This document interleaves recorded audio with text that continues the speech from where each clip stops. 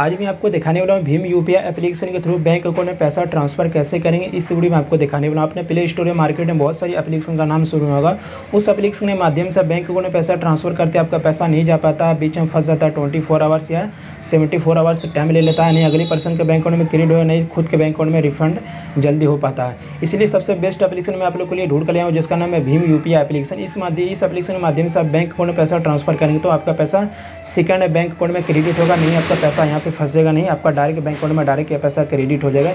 इस एप्लीकेशन में बहुत टाइम से यूज़ कर रहा है, इस एप्लीकेशन में बहुत सारा मैंने पेमेंट करा तो यहाँ पे सेकंड बैंक अकाउंट में पैसा क्रेडिट हो गया हमारा पैसा आज तक भी इस एप्लीकेशन के माध्यम से नहीं फंसा। बहुत सारी बहुत सारी मैंने एप्लीकेशन के थ्रू पेमेंट ट्रांसफ़र करता हूँ, वहाँ मेरा पैसा फ़र्स्ट हुआ ट्वेंटी फोर आवर्स के अंदर में पैसा क्रेडिट होता है। लेकिन उसमें से ये एप्लीकेशन ये सबसे बेस्ट एप्लीकेशन है। इसमें एप्लीकेशन को यूज़ करेंगे तो ऐसा ट्रांसफ़र करेंगे, आपको बहुत सारा यहाँ पे प्रॉफिट बहुत सारा बेनिफिट एप्लीकेशन से आपको माध्यम से मिलने वाला है।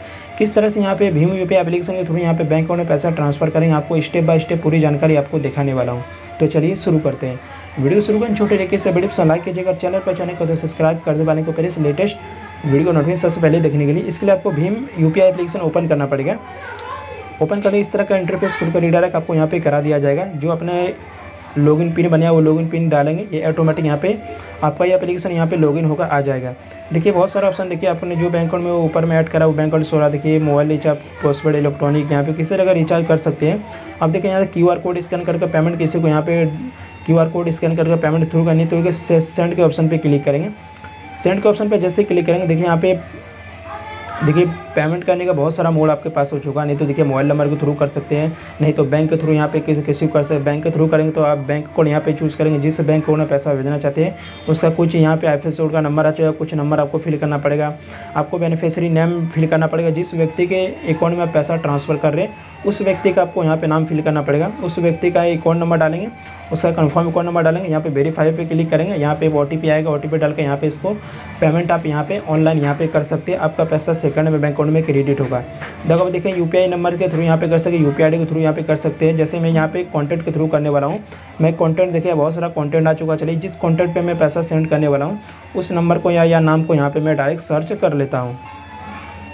मैं जिस व्यक्ति को पैसा सेंड करने वाला हूँ उस व्यक्ति के यहाँ पे नेम जाएगा। इसका यू पी आई डी यहाँ पे जाएगा जो नंबर है। अब इस वक्त इस बंदा को आप कितना पैसा सेंड करना चाहते हैं, उस पैसा को यहाँ पे टाइप करेंगे। कितना? एक हज़ार भेजना चाहते हैं, या दो हज़ार, या दस हज़ार, या पाँच हज़ार, उस हिसाब से यहाँ पे चूज़ कर लेंगे।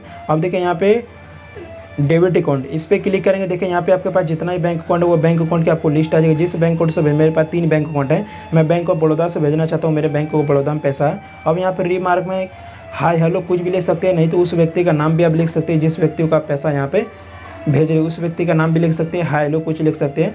आपने देख लिया इसका यू पी यहाँ चेक करना, पैसा कितना इसको सेंड करने वाले, वो देख लेंगे। इसके बाद देखिए सेंड के ऑप्शन पर क्लिक करेंगे।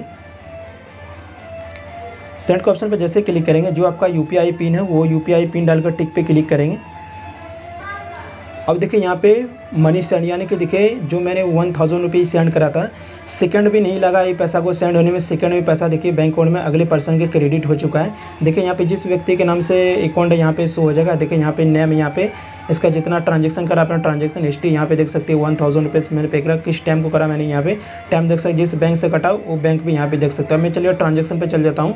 अब देखिए, यहाँ पे फ़र्स्ट में यहाँ पे ट्रांजेक्शन में वन थाउज़ेंड रुपीज़ मैंने यहाँ पे सेंड करा वन थाउज़ेंड रुपये यहाँ पे शो हो रहा है। क्योंकि सबसे सेफ़ एप्लीकेशन सबसे जेनुअन एप्लीकेशन यहाँ पे पैसा इस एप्लीकेशन माध्यम से पैसा सेंड करेंगे। आपका सेकंड में पैसा बैंक अकाउंट में क्रेडिट होगा। आपका पैसा यहाँ पे कोई स्कैम आपके नहीं होगा, कोई फ्रॉडगिरी यहाँ पे नहीं होगा। आपका पैसा वहाँ पे नहीं फंसेगा।